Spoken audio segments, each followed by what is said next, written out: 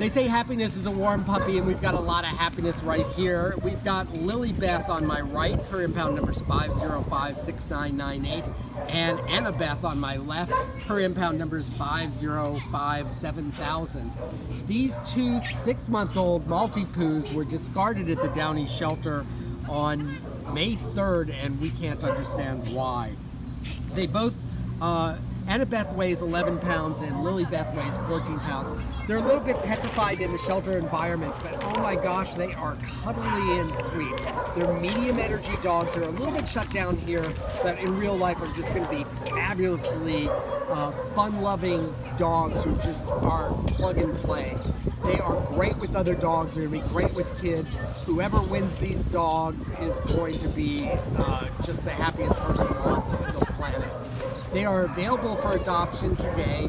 Good friends at the Downey Shelter. This is Anna Beth and Lilly Beth, two tremendous Hallmark card slash puppies available for adoption from your good friends at the Downey Shelter.